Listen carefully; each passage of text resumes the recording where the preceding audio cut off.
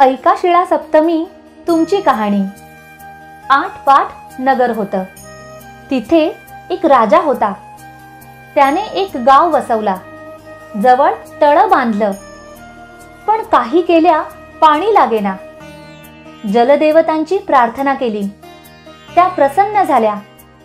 राजा तुझ्या सुनेचा वडील मुलगा बळी दे पाणी लागेल. हे राजाने ऐकलं. दुःखी झाला. घरी येऊन विचार करू लागला. पुष्कळ लोकांच्या जीवापेक्षा नातवाचा जीव अधिक नाही. पण ही गोष्ट घडेल कशी? सून कबूल होईल कशी? तशी त्याने तोड काढली. सुनेला माहेरी पाठवून मुलाला ठेवून घ्यावं सासू सासऱ्याने तशी आज्ञा केली. सून माहेरी गेली. इकडे राजाने चांगला दिवस पाहिला. मुलाला न्हाऊ माखू घातलं. जेवू घातलं. दागदागिने अंगावर घातले आणि एका पलंगावर निजवून तो पलंग तळ्यात नेऊन ठेवला. जलदेवता प्रसन्न झाल्या. तळ्याला भरपूर पाणी आलं. पुढे राजाची सून तिच्या भावाबरोबर माहेराहून येऊ लागली. मामंजींनी बांधलेलं तळं आलं.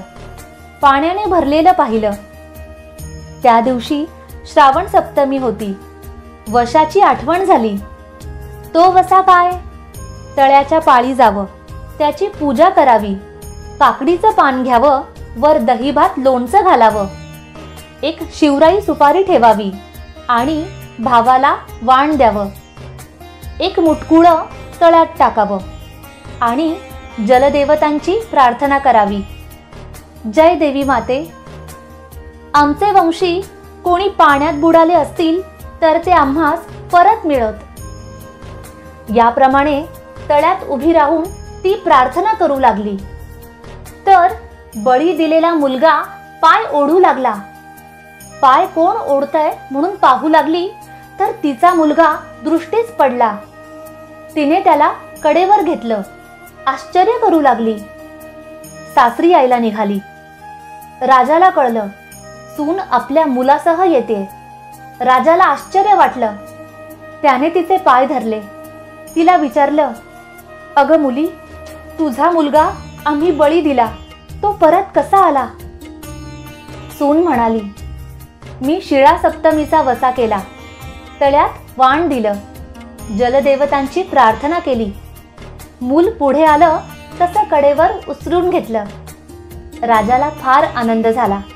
तिच्यावर अधिक ममता करू लागला. जशा त्यांना जलदेवता प्रसन्न झाल्या तशा तुम्हा आम्हा होवोत ही साठा उत्तराची कहाणी पाचा उत्तरी देवा ब्राह्मणांच्या द्वारी सुफळ संपूर्ण.